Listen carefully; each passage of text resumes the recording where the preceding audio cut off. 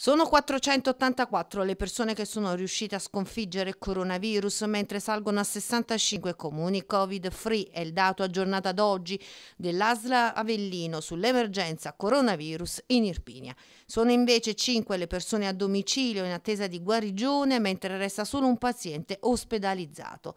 Delle 63 persone risultate positive invece al tampone nasofaringeo a seguito dello screening sierologico disposto dalla Regione Campania nel comune di Ariano Irpino, sono 60 le persone dichiarate guarite a seguito del doppio tampone negativo. Tre sono in attesa di dichiarazione di guarigione. In totale dunque in provincia di Avellino sono 9 le persone in attesa di sconfiggere il virus.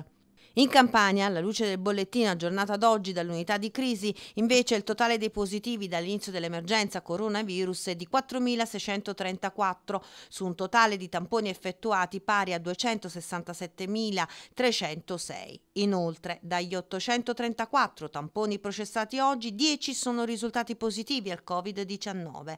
431 il totale delle vittime nella nostra regione, mentre i guariti del giorno sono 2, per un totale di 4.664. 62, di cui 4.056 totalmente guariti e 6 clinicamente guariti.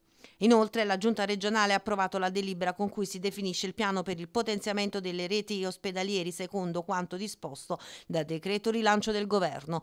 Il piano risponde all'indicazione del Ministero della Salute di incrementare ulteriormente i posti letto di terapia intensiva e semi-intensiva in Campania, al fine di garantire anche pluralità di soluzioni assistenziali e dare un'adeguata risposta all'emergenza da Covid-19. Per la terapia intensiva l'incremento a livello regionale è pari a 834 4 unità. Per quanto riguarda l'Irpinia, i posti di terapia intensiva resteranno 4 negli ospedali di Sant'Angelo dei Lombardi e Solofra, mentre passeranno da 6 a 13 al Frangipane di Ariano Irpinio e al Moscati raddoppieranno passando da 22 a 44.